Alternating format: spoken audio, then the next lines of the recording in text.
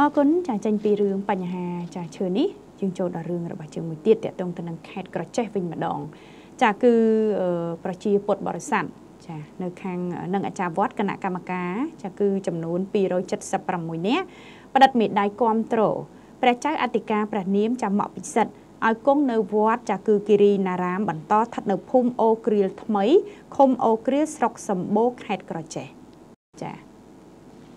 ប្រជាពុទ្ធវេស័តចំណុះជើងវត្តនិងចាអាចារ្យគណៈកម្មការចំនួន276នាក់បានមូលមតិគ្នាផ្តិតមេដាយគាំទ្រព្រះចៅអធិការវត្តព្រះនាមមកពិសិដ្ឋឲ្យគង់នៅវត្តចាគិរីចាវត្តនារាមហៅវត្តអូក្រៀថ្មី បន្តសម្រាប់បងប្អូនប្រជាពលរដ្ឋនិងប្រជាពលរដ្ឋបរិស័ទចំណុចជើងវត្តចិត្តឆ្ងាយគោរពសក្ការៈមានបន់ទៀនដែលជាសាសនារដ្ឋគឺតម្រូវការបន់ទៀនចាគឺគ្រប់រដូវតាមប្រពៃណីជូនដូនតារបស់ជើង បើតាមការសង្កេតនិងទទួលព័ត៌មានពីប្រជាពលរដ្ឋដែលជាអ្នកធ្វើបន្ទានជាច្រើនអ្នកបានរៀបរាប់អំពីការវិវាទពាក្យសម្ដីរវាងគណៈកម្មការចាស់និងគណៈកម្មការថ្មីដោយមានមូលហេតុនិងចាំមិនធ្លាប់មាននៅក្នុងព្រះពុទ្ធសាសនានៃយើងវត្តគិរីវឌ្ឍនារាមហៅវត្តចាគឺអូកណ្ដៀថ្មី ចាប់ផ្ដើមកសាងនៅកំឡុងឆ្នាំ2014ក្នុងទឹកដីទើបកកើតថ្មីនេះគឺពុំសូវមានប្រជាពលរដ្ឋបរិស័ទនៅច្រើនកកនោះទេមានខ្នងផ្ទះប្រជាពលរដ្ឋបរិស័ទចម្រុះជើងវត្តចំនួន50ខ្នងចាចុះតែនៅកំឡុងឆ្នាំ2014រហូតមកដល់ពេលបច្ចុប្បន្ននេះមានខ្នងផ្ទះរហូតដល់រាប់រយខ្នងដោយមានការអភិវឌ្ឍចាពីមួយថ្ងៃទៅមួយថ្ងៃដែលមានការរៀបចំភូមិថ្មីជូនដល់បងប្អូនប្រជាពលរដ្ឋចិត្តឆ្ងាយក្រៅនៅក្នុងស្រុកនិងពុំមានទីលំនឹង និងកសាងវត្តមួយសម្រាប់ធ្វើបន្ទានតាមប្រពៃណីសាសនារបស់យើងក្រោយពីរៀបចំកសាងវត្តចាគឺអូកណ្ដៀថ្មីក្នុងឆ្នាំ2014មកគណៈកម្មការឈ្មោះថាស៊ីនលៀងនិងបពុតែងតែធ្វើសកម្មភាពជាមួយនឹងព្រះចៅអធិការរហូតមានការបណ្ដេញព្រះចៅអធិការវត្តចំនួន4អង្គមកហើយលើកទី1ដែលមានព្រះអង្គនាមចារិតត្រូវបានគណៈកម្មការវត្តឈ្មោះថាស៊ីមលៀងដេញចាព្រះអង្គលើកទី2ឈ្មោះព្រះនាមចាលោកតាណក់ ចាគឺលើកទី3ឈ្មោះព្រះនាមពៅលើកទី4ព្រះនាមសវណ្ណសាមលើកទី5ព្រះនាមចាំមកពិសិដ្ឋតែគង់បច្ចុប្បន្នត្រូវបានគណៈកម្មការចាស់ឈ្មោះតាស៊ីននាងនឹងបានដេញចាលោកចេញពីវត្តដោយព្រះអង្គមុនមុនដែរសូមបញ្ជាក់ថាគណៈកម្មការវត្តដែលមានឈ្មោះថាស៊ីនលៀងរូបនេះតែងតែសួរនាំលោកគ្រប់ព្រះអង្គអំពីលុយកាក់ឬក៏បច្ច័យបានប៉ុន្មានយកទៅណាធ្វើអ្វីខ្លះក៏សាងកន្លែងណាខ្លះឬក៏ទិញអ្វីខ្លះ នៅពេលដែលមានពិធីបន់ជាតិចាបន់ភ្ជុំបន់ចូលឆ្នាំបន់កឋិនចូលព្រះវសាចេញវសានិងបន់ហែផ្កាប្រាក់ជាដើមឈ្មោះថាស៊ីនលៀងតែងតែដេញដោលនៅពេលដែលបន់រួចម្ដងម្ដងគណៈកម្មការចាស់ឈ្មោះតាស៊ីនលៀងជាគណៈកម្មការវត្តចាអូកនីថ្មីក៏ពិតមែនប៉ុន្តែមិនសូវស៊ីចង្វាក់ជាមួយនឹងប្រជាពុទ្ធបរិស័ទចំណុះជើងវត្តទេជាពិសេសព្រះសង្ឃចាអង្គនេនឬក៏ព្រះចាអធិការវត្តណាមិនស្ដាប់បង្គាប់របស់គាត់គឺដេញចេញពីវត្តភ្លាមភ្លាម ត្រឹមរយៈពេល5ឆ្នាំគឺដេញព្រះអង្គ5អង្គរួចមកហើយ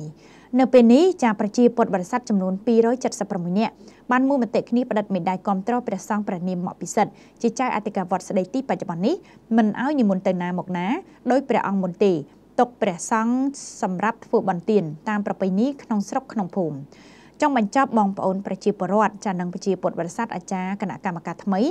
សូមសំណូមពរនិងស្នើសុំគោរពជូនឯកឧត្តមវ៉ាថនអភិបាលនៃគណៈអភិបាលខេត្តក្រចេះនិងព្រះអនុគុណស្រុកខេត្តនិងអស់លោកអាជ្ញាធរដែនដីគ្រប់លំដាប់ថ្នាក់មេត្តាទទួលយកការស្នើសុំពីប្រជាពលរដ្ឋបរិស័ទដោយក្តីគោរពផងចា៎មែនទេយើងសោកស្ដាយដែលអត់បានប្រភពពីលោកស៊ីមលៀងចាតាស៊ីមលៀងនេះយើងបានតែមួយខាងហ្នឹងហើយអញ្ចឹងរឿងតែដៃមួយជំនាញយើងអត់លើទេ ចំពោះករណីហ្នឹងមានសំណួរជាច្រើននៅក្នុងសាច់រឿងនេះ សំណួរទី1សួរថាតើការបណ្ដេញប្រសង់ចេញពីវត្តអាចបណ្ដេញតាមតែបុគ្គលបានឬក៏លោកពីមុនធ្លាប់មានកំហុសអីដែរធ្វើអាចអាចារ្យម្នាក់ដេញបានចាណែអាហ្នឹងអាហ្នឹងរឿងមួយហើយហេតុអីបានជាកលៈទេសៈនោះប្រជាពលរដ្ឋមិនព្រមគ្រប់គ្រងសម្រាប់ការទុកប្រសង់អង្គមុនមុនឲ្យនៅក្នុងវត្តចាឬយ៉ាងម៉េចអាហ្នឹងអាហ្នឹងគ្រាន់តែជាសំណួរទេព្រោះយើងយើងឮចម្លើយមកចំហៀងហឹម ទី2ពាក់ព័ន្ធជាមួយនឹងរឿងករណីបែបហ្នឹងគណៈកម្មការអាចារ្យដតីអាចប្តឹងឬក៏អាចស្នើសុំទៅខាងពពខាងធម្មការលោកមានអាជ្ញាធររបស់យើង មានអាជ្ញាធរស្រុកមន្ទីរធម្មការនិងសាសនាហើយនៅខាងនេះនឹងមានអនុគុណអនុគុណនឹងសមាជវាយស្រុកចា៎នឹងមានបន្លាត់មានអីហ្នឹងនៅក្នុងស្រុកនីមួយៗអាចប្តឹងទៅបានតាទៅសាលាគុណនោះចា៎បាទឬក៏ទៅសាលាខេត្តហ្នឹងក៏បានដែរ ដើម្បីអីដើម្បីអឺដោះស្រាយរឿងហ្នឹងអញ្ចឹងទេពាក់ព័ន្ធបញ្ហានេះយើងនឹងព្យាយាមបាទអឺនៅក្នុងការរកចម្លើយពីអឺមកខាងទៀតពីលោកស៊ីមលៀងថាតើហេតុអីបានលោកតាស៊ីមលៀងគាត់គាត់ព្យាយាមបណ្ដេញអីចឹងទៅនឹងរឿងមួយហើយរឿងមួយទៀតសម្រាប់គណៈកម្មការអាចារ្យឬក៏សម្រាប់ការគ្រប់គ្រងលុយវត្តរឿងនេះឆ្លោះគ្នាច្រើនណាស់ចា៎មែនតែននៅវត្តខ្លះគឺដំឡាភាពហ្មង ហេតុផលអីបានជាពេលបនទៀនឲ្យម្ដងម្ដងគណៈកម្មការអាចារ្យអត់ត្រូវដឹងរឿងលុយកាក់នៅកន្លែងនេះមិនមែនថាទៅលើកជើងពីខាងណាទេអត់ទេចា៎ពួកជាធម្មតាលុយពេលដែលដាក់ចូលមកមិនមែនសក្រាចវត្តអ្នកកាន់ទេណាចា៎គេរួមរួមយកទៅកសាងអីខ្លះហើយបើយើងមានបញ្ជីស្នាមត្រឹមត្រូវលុយកាក់ច្បាស់លាស់ដូចជាមិនជាបញ្ហាដូចឧទាហរណ៍អញ្ចេះលុយកាក់បញ្ជីច្បាស់លាស់ហើយលោកស៊ីមលៀងគាត់ទៀមទាចំណែកណាមួយ អេអានឹងសមគាត់ខុស100%ហ៎ឬយ៉ាងម៉េចវិញណោះអឺព្រោះជាធម្មតានៅវត្តជាច្រើនលោក មានណាគេប្រគេនបច្ច័យប៉ុណ្នេះប៉ុណ្នេះអញ្ចឹងទៅពេលខ្លះគេថាអូលោកនឹងដូចសបោសបាយសបាយប៉ុន្តែពេលខ្លះទៅសួរលោកលោកថាអានឹងបច្ច័យកសាងប៉ះអត់បានទេគណៈកម្មការគេមានបញ្ជីស្នាមត្រឹមត្រូវចា៎អារឿងយើងប្រគេនយើងអីផ្សេងអានឹងរឿងផ្សេងដែលលោកបានទទួលចំណែកដែលយើងប្រគេន តែបើប្រគេនចូលវត្តប្រគេននឹងមើលរូបភាពពីរទៀតប្រគេនលោកឬប្រគេនកសាងចា៎បើប្រគេនកសាងអានឹងសម្រាប់លុយរួមទាំងលុយរួមអស់ទេគ្នាអត់មានទៅចា៎ប៉ះពាល់បានទេអញ្ចឹងបើលុយរួមអត់ប៉ះពាល់បានអានឹងហេតុផលអីដែលគណៈកម្មការអាចារ្យអត់ដឹងណាអត់ត្រូវដឹងណែអានឹងជារឿងមួយដែល យើងឃើញថាជាបញ្ហារឿងនេះប្រហែលជាអាចទេប្រហែលជាអាចទេចា៎